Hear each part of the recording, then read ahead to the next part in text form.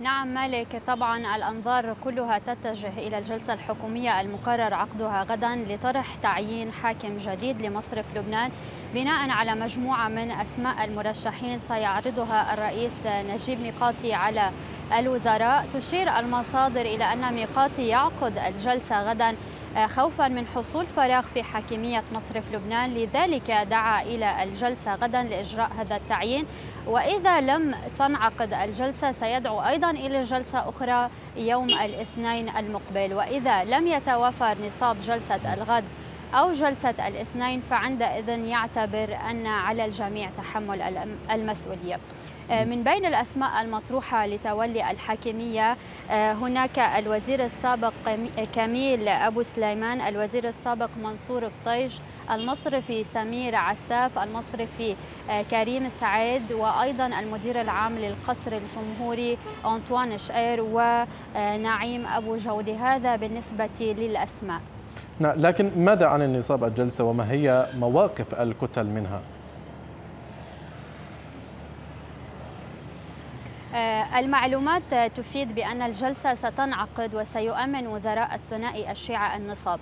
آه، لكن لن يتم التوافق على اسم المرشح. أيضا مصادر أخرى آه، تشير أن حزب الله يقف ضد خيار التعيين انسجاما أيضا مع موقف التيار الوطني الحر وبالتالي لن يكون هناك نصاب في جلسة غد الخميس إذا ما طرح تعيين الحاكم. وأيضا سيقتصر الحضور على 15 وزير علما أن اكتمال النصاب يحتاج إلى 16 آه، وزيرا. آه، هناك أيضا عددا من النواب أعلنوا عن مقاطعتهم لجلسة غد من بينهم وزير الإعلام آه، زياد مكاري وأيضا وزير المهجرين عصام شرف الدين بالإضافة إلى وزير الاتصالات جوني القرم ووزير السياحة وليد نصر أشير أيضا إلى أن مصادر أخرى رأت إذا لم يتوفر النصاب في الجلستين فإن حاكمية مصرف لبنان في هذه الحال ستؤول إلى النائب الأول للحاكم وسيم منصوري التزاما بقانون النقد والتسليف.